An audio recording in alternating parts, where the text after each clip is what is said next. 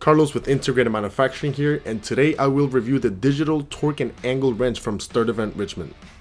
This DTC wrench is an ideal solution to ensure accuracy, repeatability, and error proofing in assembly challenges. You can select multiple operation modes, including track, peak, torque and angle, and more. Once you make a selection, you can change the parameters.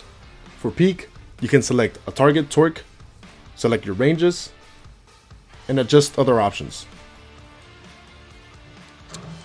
System design allows for quick and easy change of heads and sizes.